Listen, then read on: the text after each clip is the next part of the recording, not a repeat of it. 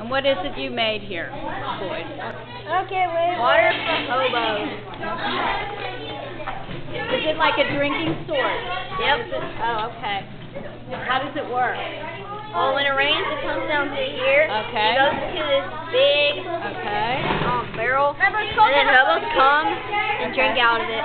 Yeah, Hobo!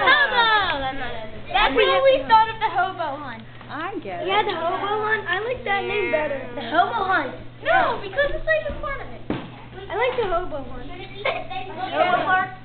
How, how did you decide um, to make this? Like, what what did you use the hose for? What was the reason for that? Um, Because so- you needed a way? Hobos! No, the, so the water comes down. No, we're going Okay.